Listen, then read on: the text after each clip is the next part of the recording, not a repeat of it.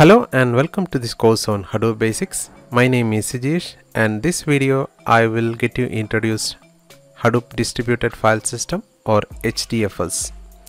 So HDFS is the file system which is used in Hadoop and it's a distributed file system and it's responsible for storing data on the cluster.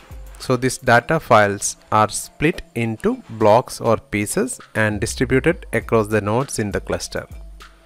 So if you have a data which is huge in size, so the framework or Hadoop distributed file system will split this data into smaller pieces and distribute these pieces across different hosts or different nodes in the cluster. And also these blocks or whatever the pieces so will be replicated multiple times so this ensures availability.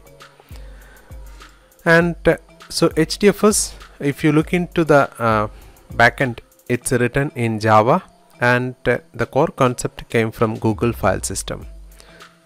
So as I mentioned earlier videos so Google has published the white papers on its file system how the distributed file system works.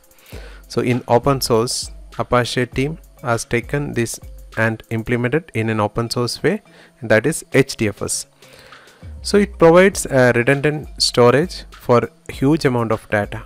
So as I said the pieces or blocks will be placed into multiple servers. So this ensures availability. And also this Hadoop file system or HDFS works best for the small number of large files and also this is used for files which are written once and read many times. And it's uh, optimized for streaming read of large data set. So how these files are stored? So if you look into HDFS so whatever the data we store basically the file which is huge in size that we are going to store into HDFS so this file will be split into pieces called blocks.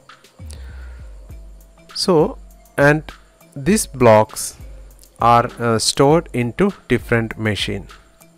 So different blocks from the same uh, file will be stored on the different machine. So this ensures availability.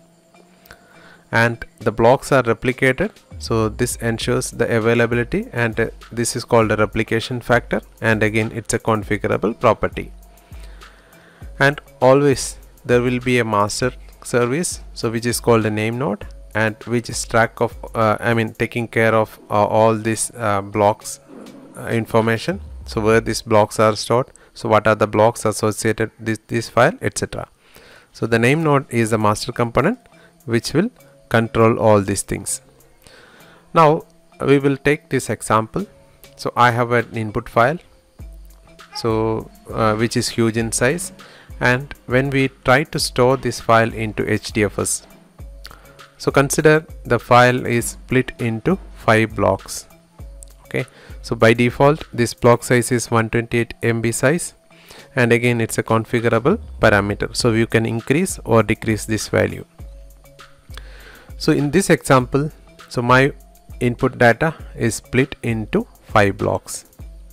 And you can see how these blocks are placed into across different uh, worker host. So this worker hosts are called data node and you can see these blocks. So for example here I highlighted as a block 2 so block 2 is placed in node A node B and node D. And other blocks also you can see.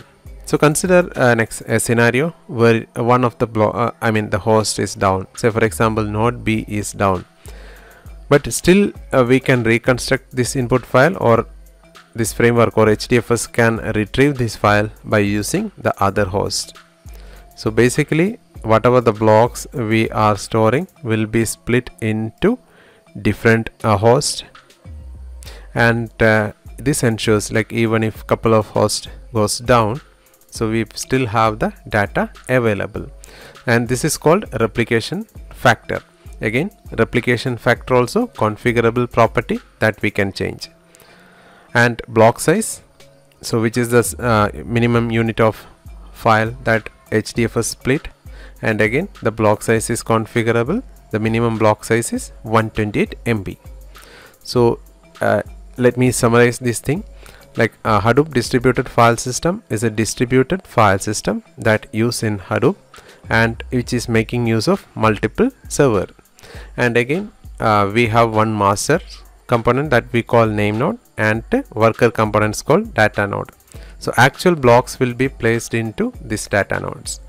So if you are storing some huge sized file so that will be split into pieces and each piece is called block and by default it's 128 MB and that will be placed across different machine. So this is how HDFS works at very high level. Thank you for watching this video. We will see in the next video see you in the next video. Bye